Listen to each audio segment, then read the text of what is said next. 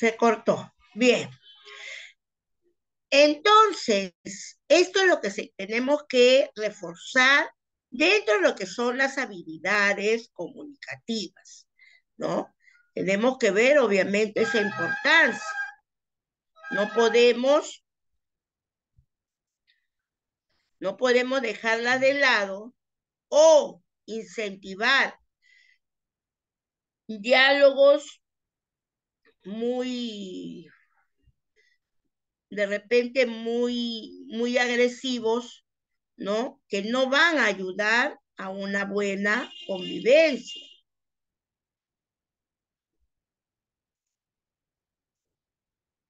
Y la importancia en el aula. Si hablamos de importancia en el aprendizaje, la influencia que tiene el aprendizaje, obviamente la escuela junto a la familia es uno de los núcleos básicos de formación cognitiva, emocional y de valores en los niños. Por ello, comunicarse adecuadamente en este sistema permite aprender a desarrollarnos como personas y a socializarnos mejor para, un, eh, para que el humano es imposible no comunicarse. Obviamente todos se comunican, todos. De ahí que encontramos el arte urbano, ¿no? Los grafitis en muchas de las ciudades, encontramos ahí em, eh, de repente las, las manifestaciones en, en letras, ¿no? Hay uno acá en Lima, y estoy detrás de ver quién es, hay una que dice el poeta anónimo, el poeta urbano, algo así, que pone ciertas eh, rimitas, ciertas cositas que de verdad que deja que pensar. Entonces, todo esto es comunicación. Todo esto es comunicarse, ¿no? E igualito eh, con los dibujos, ¿no? Estaba viendo el domingo esa, que en el Callao es, una, es un barrio, ¿no? En donde dibujan a todos los, los que mueren, esos ladrones de alta categoría que mueren, como los cantantes que han ido a visitar el Callao, ¿no?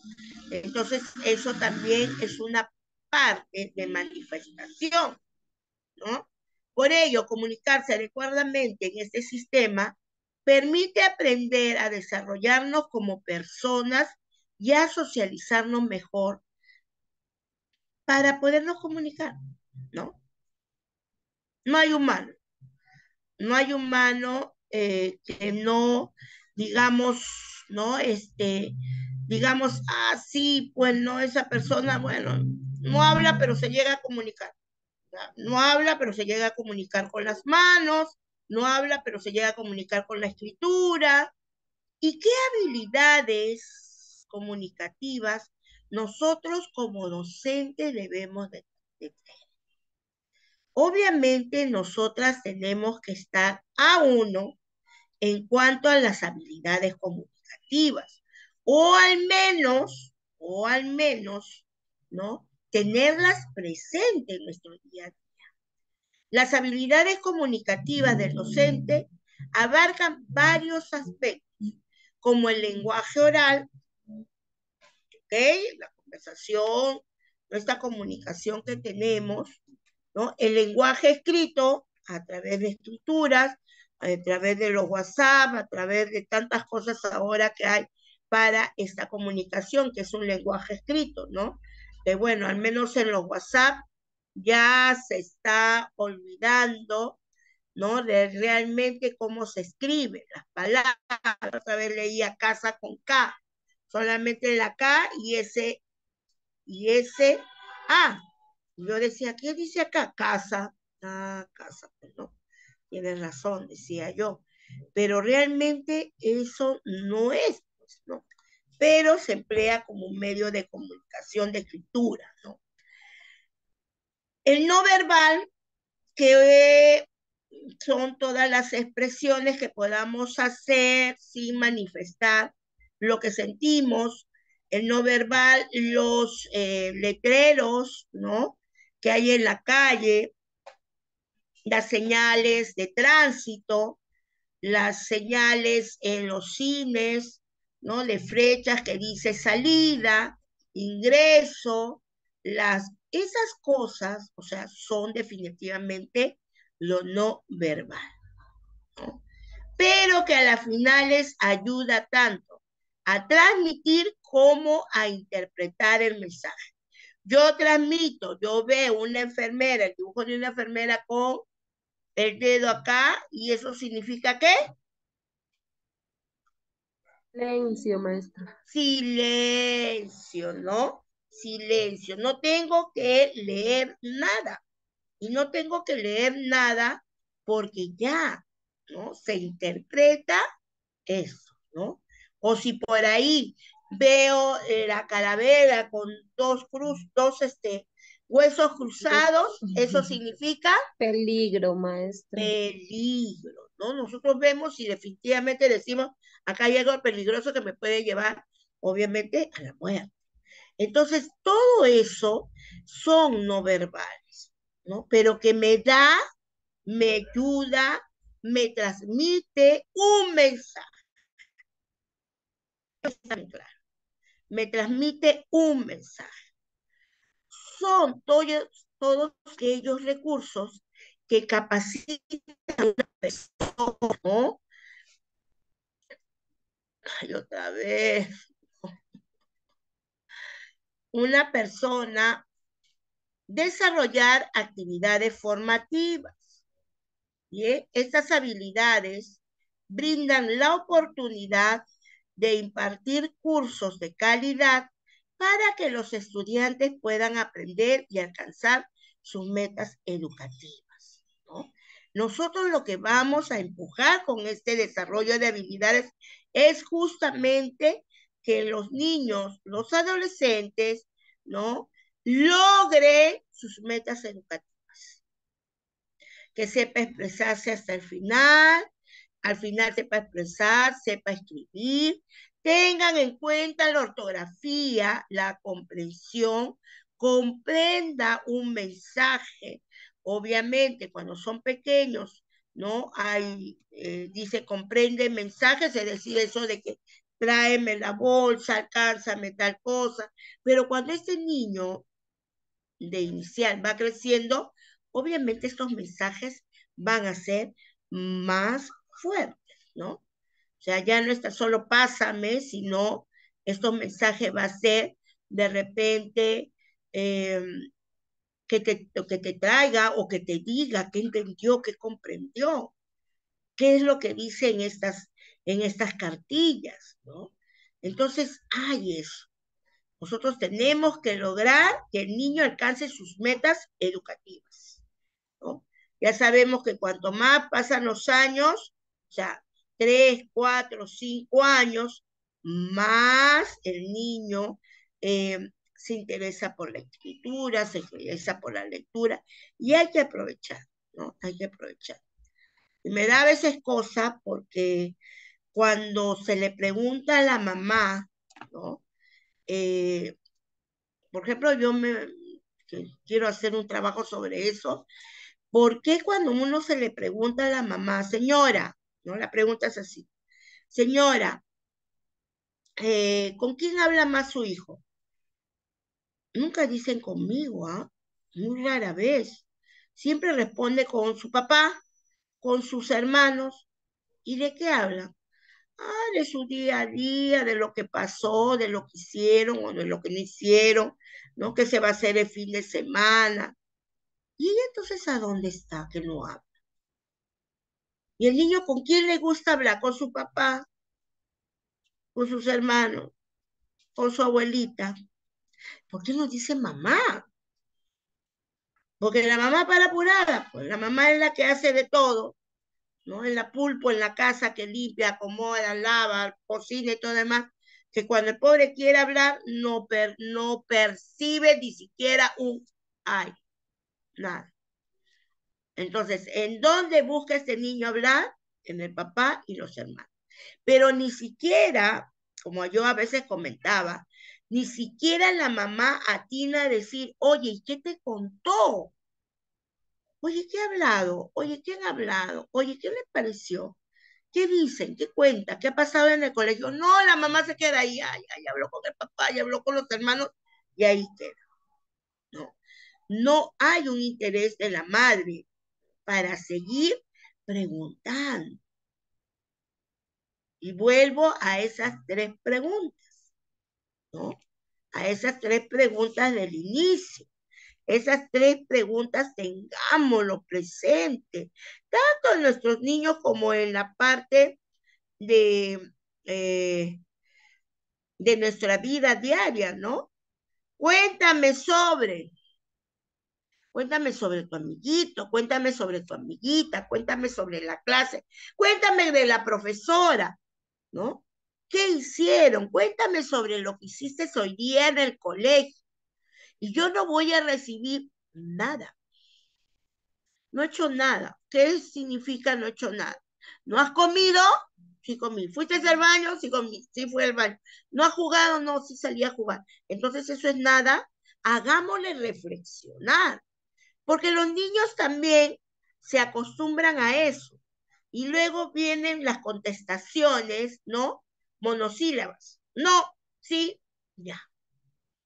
Nada más. Y la mamá, el papá, inclusive hasta la profesora, se conforma con el no, sí, ya. Nunca le preguntamos el por qué. Nunca le preguntamos, o sea, ¿qué sentiste? ¿Cómo te sentiste para responder esto? Nunca, nunca, ¿no? Luego la otra pregunta, me pregunto si yo no le estoy diciendo, te pregunto. Yo lo que estoy diciendo, me pregunto si tú te has sentido bien, tú te has sentido mal. Me pregunto sí. Y quisiera saber. Entonces, ellos van a tener que aprender a interpretar ese mensaje. Bien. Entonces, nosotras como docentes tenemos que obtener todos los recursos que capacitan a una persona para desarrollar actividades formativas. Estas habilidades brindan la oportunidad de impartir cursos de calidad para que los estudiantes puedan aprender y alcanzar sus metas educativas. Pues no, nosotras como docentes no vamos a estar mencionando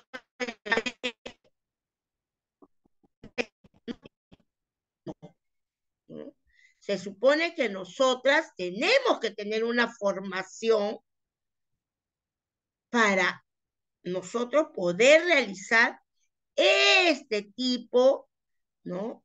De brindar este tipo de aprendizaje a nuestros estudiantes, ¿no? Entonces, eso es lo que tenemos que tener aquí. Bien. Ahora, ¿cómo afecta? ¿Cómo afecta? Claro que afecta, obviamente afecta. Una mala comunicación puede aumentar la sensación de aislamiento y falta de apoyo en los estudiantes, lo que puede afectar su bienestar emocional y su capacidad para enfrentar los desafíos y obstáculos en su proceso de aprendizaje. Hay que ver esta mala comunicación. Y no solamente de nosotros, hacia los estudiantes, esa de nosotros hacia los padres. Algo que me ha pasado ahora recién. Yo le pregunto, lo voy preguntando a todos, ¿y qué planes hay para el próximo año? ¿Cuál es su proyección para el próximo año? Ustedes saben que yo tengo una niña autista, Y cuando le he preguntado al padre, la niña se desapareció y de pronto por ahí la de Sane habla y el papá le responde, he tenido un impasse en el colegio. Dice, ¿qué habrá pasado? Conmigo nada. Esa pregunta él creyó que yo le estaba excluyendo a su hija para el próximo año. pero obviamente es una pregunta que yo tengo que hacer. Esa niña estamos esperando su última evaluación, su último análisis para decir, se queda en una, en una, institución este, ¿no? inclusiva o se va a un SEBE. Y eso es lo que estamos esperando. Y mi pregunta era más para eso, pero se malinterpretó. Y el Señor lo que hizo fue aislarse. El Señor lo que dijo, no me están apoyando. Entonces, si como adulto él se ha sentido de esa manera, imagínate los niños. Si yo hago que mi niño se sienta aislado, obviamente va a afectar su bienestar emocional. Este niño va a bajar su autoestima. ¿Mm? Este niño no se va a sentir seguro. Entonces, también va a disminuir, afectar su capacidad para enfrentar los desafíos. Y ahí va a venir en que yo no puedo, yo no sé. No, yo no puedo, yo no sé, es la pregunta. ¿No? Esa es la respuesta, perdón. Yo no puedo, yo no sé.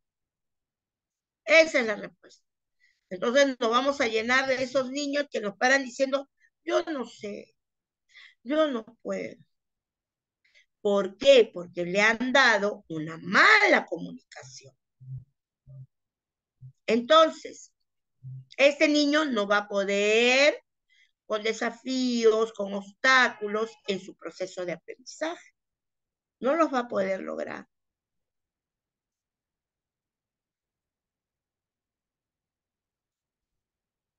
Y buscamos estas estrategias, ¿no? ¿Cuáles son estas estrategias? Obviamente hay varias, ¿no? Pero hay cinco fundamentales que hay que tomar en cuenta. Mantener el contacto visual. Mirar a los ojos a tu interlocutor transmite una sensación de confianza y transparencia que facilita el diálogo. De aquí que encontramos esto de la virtualidad como un punto negativo porque yo no llego a ver a sus ojos. ¿no? Yo no les llego a ver. Podré ver el rostro de las que pueden prender su cama, pero hay quienes no, creo que hasta el día de hoy no las conozco porque no me prenden la cama. Entonces, ¿cómo voy a mantener un contacto visual? ¿Cómo lo voy a hacer? Si yo, por ejemplo, ahorita viendo hay algo de 37. Si estuviéramos en una aula, obviamente esas 37, 35, 30 alumnos se va a poder tener esta estrategia de observar, de mantener el contacto visual. ¿Por qué? Porque yo no me voy a mantener sentada, yo voy a caminar de un lado al otro, voy a pasar por el medio, voy a pasar por un lado, voy a pasar por el otro y voy a estar observando y aquella que se distrae, la voy a observar más. Entonces, esto del contacto visual se perdió también con estos dos años de pandemia. Se perdió. ¿Por qué? Porque con los niños estábamos así. No estábamos con la cámara, la cámara de televisión, del, perdón, del celular o con la cámara de la laptop, pero no más yo no les veía de cuerpo entero, ¿no? Yo no le veía sus ojos. ¿Bien? No interrumpir, no interrumpas esas conversaciones, ¿no? Ya, ya, ¿qué más? ¿Qué más? No. Preguntemos y repreguntemos. ¿No? ¿Y qué más pasó? Ah? ¿Pero quién te lo dijo? ¿Cómo te lo dijo? ¿Para qué te lo dijo? Uy, ustedes se van a enterar, chicas, cuando hagan ese tipo de preguntas, la vida y milagro de la familia de sus alumnos. No nos acostumbremos a solamente, bien, sí, no, ¿por qué? ¿Por qué bien? ¿Qué hiciste para que tú digas bien? ¿Qué hiciste para que tú te, que tú te sientas mal? ¿Por qué dices que no te gustó? Entonces vamos a tener personas que realmente sepan enfrentarse. Y eso hay que ver, y eso con eso hay que trabajar con los padres. ¿No? Y ella también. Una niña, le dice a un niño que, ay, ese niño también más consentido. Eh, estuvieron sacando los libros, los cuentos, y estaban leyendo, entre comillas, ¿no? Y de pronto, eh, el llanto del niño. Y yo, ¿qué pasó? Ella, ella, ella me ha dicho que no lea y que yo no sé leer. Yo entre mí le cuento a la señora, porque justo era ya la hora de la salida, y el niñito obviamente ¡ah! vio a su mamá y peor lloró. Y cuando de pronto le digo, ay señora, le digo, ¿sabe? Ya, ya, ya, ya. Y señora media vuelta. Me interrumpió increíblemente.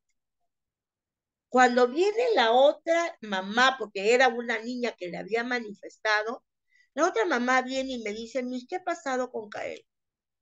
Y de verdad que yo me quedé en el aire. ¿Qué ha pasado, Mis? Porque yo ha pasado la mamá de Alessi y me ha dicho, hija se burla de mi hijo. Me quedé helada. Porque a mí no me había dejado hablar. ¿Y de dónde sale la burla? El niño no creo que tenga esa palabra, porque de verdad es que tiene muy bajo sus, sus habilidades comunicativas. Entonces interrumpe, interrumpe, no deja hablar aún. Y eso hace con el niño. Le está enseñando a interrumpir, a no terminar la oración, la frase, el pensamiento sino que lo corta y se va. Y ella va a sacar, ¿no? Entonces lo que hay que hacer es intentarse poner en su lugar. Yo agarré a la otra mamá, señora, y nada más.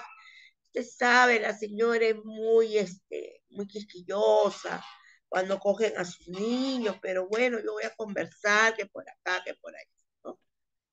Entonces, hay que ponerse en el lugar de ella, a ver qué pasó. Sé claro y conciso en la comunicación. Dar rodeos no ganamos nada. Inclusive nosotros en casa, cuando nuestros hijos de pronto te empiezan a dar besitos, mi mamita, una limonadita y papá, no sé cuánto, ya vamos diciendo nosotros, ¿qué querrá? ¿Qué querrá? Entonces, nosotros hay que enseñarles a hacer esto, claro y conciso, ¿no? Yo no, yo no digo que sean rudos en su comunicación, pero al menos claro, que el niño sepa de qué se está tratando el tema. ¿Para qué ir con tantos rodeos? Más es lo que entreveran que otra cosa. Mantener atento el lenguaje corporal, que tampoco ahorita no lo se practica, ¿no? Ustedes quizás con sus niños sí, ustedes quizás en su casa sí. ¿Cuál es el lenguaje corporal? ¿No? ¿Cómo están mis piernas? ¿Cómo están mis brazos, mis manos? ¿No? ¿Cómo yo doy a conocer mis ideas? bajo qué términos doy a conocer mis ideas. Entonces, eso, estar atento al lenguaje corporal. Ese niño o esa niña que está en este plan, ¿no? O teniendo el tic del, del de estar moviendo la pierna, el brazo. ¿Qué nos quiere decir? ¿A dónde se quiere, eh, cómo se dice, a dónde se deriva, se desvía esta comunicación? Te pueden decir estoy bien, pero todo su ser se transforma en otra cosa. está entendiéndose como otra cosa. Entonces, eso es lo que tenemos que ver. Mantener este lenguaje corporal, siempre mirar, mirar, mirar. Miro a los ojos y miro completamente. Porque de una u otra forma me va a manifestar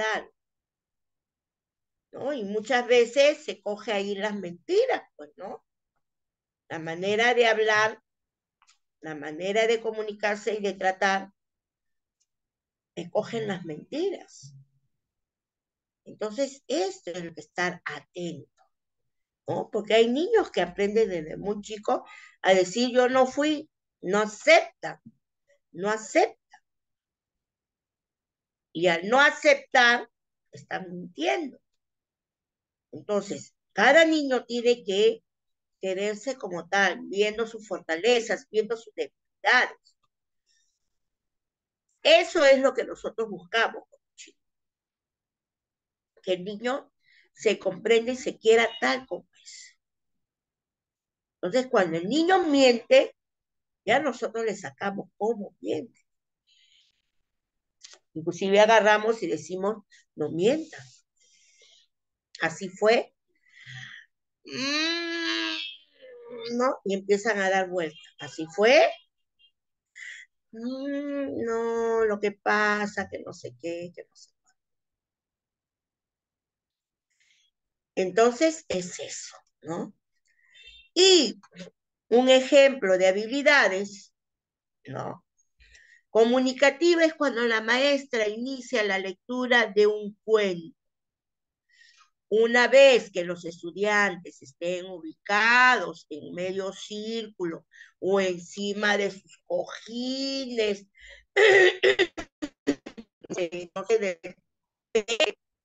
no sientan ellos más durante el desarrollo de la misma, permitir que los estudiantes formulen preguntas y dejar que otros estudiantes participen en la respuesta. Yo no voy a dar las respuestas y eso se los he dicho ya un montón de veces. Ellos reflexionan y de ahí el pensamiento reflexivo, su respuesta. Entonces, no es que nosotros vamos a darle la respuesta. Pero, Miss, este, pero se comió, la, la de oro se comió la sopa. ¿Cómo sabes que se comió la sopa? Es que en la figura, pues, la figura había que ya eh, la cuchara estaba usada. Ay, ¿cómo se sabe que la cuchara es usada? Eh, porque estaba encima de la mesa ya, o, estaba dentro del plato. Ah, ya. Pero, Miss, ¿qué sopa era? ¿Era sopa o era el segundo? ¿Tú qué cosa crees? Yo le digo, ¿tú qué cosa crees? ¿Es sopa o segundo? No, es sopa. ¿Y por qué? Ah, le digo yo. Yo le pregunto, le revierto la pregunta. ¿Por qué? Ah? Porque estaba usando una cuchara. Ah, ya. ¿Que la sopa se toma con cuchara? Sí. ¿Y los segundos? No, con el tenedor. Ah, yo revierto. Y al revertir, ellos están sus propias respuestas. Ya no es el tiempo en que la profesora se lo sabía todo. Antes la profesora de todo tenía que saber. Algo de matemática, de física, de química, de todo, porque los chicos iban preguntando el por qué. ¿No? ¿Por qué los aviones vuelan y no se caen porque son pesados? ¿No? ¿Por qué crees? ¿Porque tiene alas? Ah, tiene alas. ¿Y qué más tiene? ¿Solamente con alas? ¿Motor? Por eso Entonces, ellos van a reflexionar la pregunta, ¿no? Y obviamente, muy aparte que ellos mismos responden, hay compañeritos que responden estas preguntas. Y al responder estas preguntas, van dándole las respuestas debidas. Entonces, la profesora no es todo, chicas. Las profesoras no es. Háganle reflexionar a ellos, háganle entender a ellos, comprender a ellos, recordar, ¿no? Porque de repente no se acuerda, pero estamos nosotros para decirle, oye, pero recuerda, ¿qué pasó? ¿Cómo pasó? ¿No?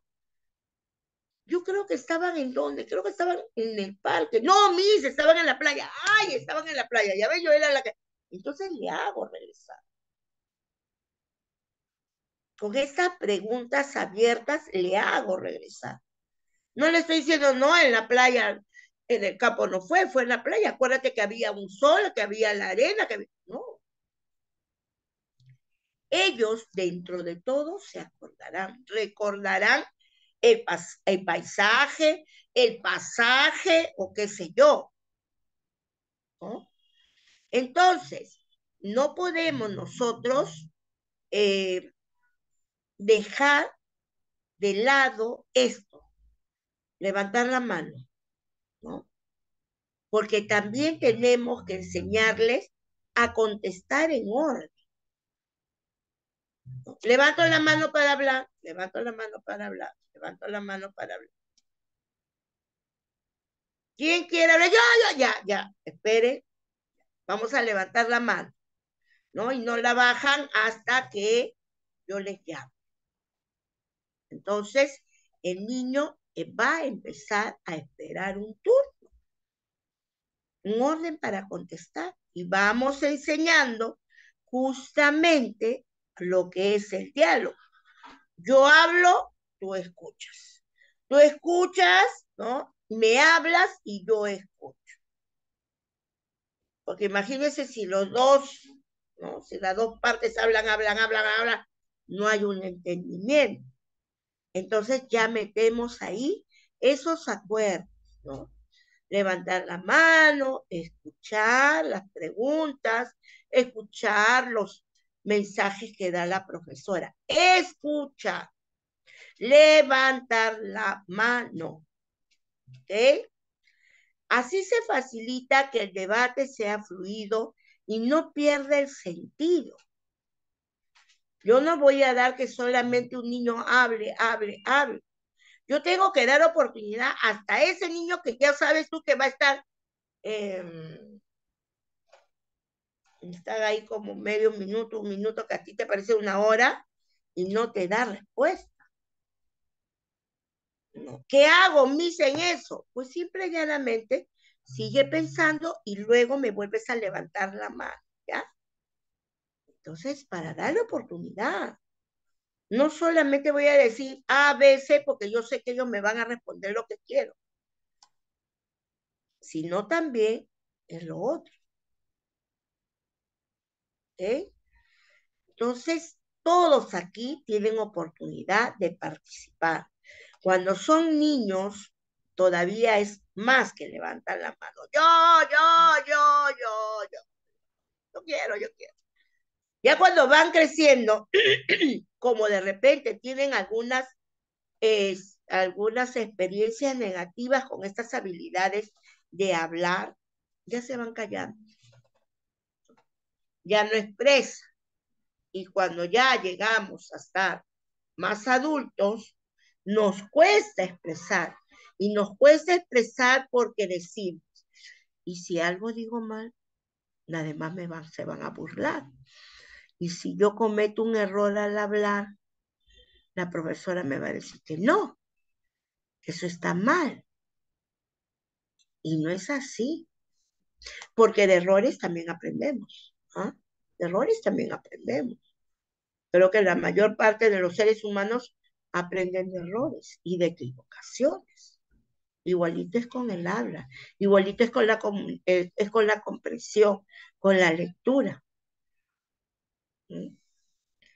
Cuando uno dice, por favor, alguien puede leer, siempre son las mismas. Nadie más se atreve a leer. Yo pregunto, no sé, estarán en un celular y no ven bien, estarán haciendo otra cosa, si no pueden, dirán, pues, ¿qué voy a leer si ni sé, ni sé qué es lo que están leyendo? O simple y llanamente, ¿para qué leo? Me voy a equivocar. Entonces, eso es lo que tenemos que trabajar con nuestros niños, chicas. Darles oportunidades de hablar, darles las oportunidades de escuchar, darles las oportunidades de leer, entre comillas. Que esos ojitos se vayan acostumbrando a las letras, ¿no? A estas escrituras, a esto, como a veces le digo, ¿no? Estos grafismos. Que ellos empiecen ya a diferenciar entre letras y números. Que cuando vean escritos los números digan, eso no es una letra, eso es otra cosa. Y por ahí alguien diga, son números. Y uno diga efectivamente, pues no, son números. Entonces, todo eso es lo que tenemos que tener en cuenta. Hay que dar oportunidad al niño, que abra esos ojitos, que abra, ¿no? Esas, eso oídito para saber escuchar. Bien, entonces, espero yo que si alguna vez vaya y vea sus clases, sus prácticas o qué sé yo, encuentre todo esto que hablamos en positivo, ¿no? Que encuentre yo, profesoras que dan oportunidad a sus niños a hablar, ¿no? Que dan oportunidad a sus niños a escribir de la manera que puedan escribir. Ya hemos visto los niveles de escritura. Entonces no podemos agarrar y decir, ay, no, este no escribe nada, porque hay niveles de escritura que lo quieren, o sea, propicie a la expresión oral propicien a que el niño sí realmente llegue a expresar. No le cortemos, chicos, no le cortemos la idea. No nos adelantemos a lo que ellos nos quieran decir. No nos adelantemos. Hagamos que ellos terminen su frase, terminen, ¿no? Lo que quieran contar. No supongamos, porque no es así. Bien, ¿alguna, algún comentario, alguna pregunta? Todavía nos quedan un minutito antes de terminar. ¿Está entendido? ¿Está comprendido? ¿Habilidades comunicativas? ¿Sí? ¿No? ¿Faltó algo? Bueno, recordemos que, gracias Nancy, Recordemos que obviamente todo esto es como pues para llevar este tema todo el semestre. Pero le damos acá lo esencial para que ustedes vayan. ¿no? La próxima clase, si Dios quiere, vamos a ver las estrategias para desarrollar este, ¿no? esta comunicación en los niños de la primera infancia. ¿Cuáles serán las estrategias? ¿Qué estrategias podemos utilizar? ¿Cómo ¿no? Eh, nos vamos a, enfrentar a eso, ¿no? Entonces, eh, no, Geraldine, no lo que has escrito, no. Por ahora no, no. Entonces, eso es lo que eh, vamos a ir teniendo en cuenta. Bien, bueno, me voy despidiendo que tengan, que sigan teniendo una bonita semana. Si Dios quiere, nos vemos la próxima semana, ¿no? Para seguir ya, ya nuestra última, creo, unidad, ya para, ya estamos en la última unidad, ya para poder terminar el semestre, ¿ok? Entonces, cuídense mucho, chicas, y muchas gracias por todo, por su presencia, por su, por su asistencia y por sus intervenciones, que realmente eh, sí,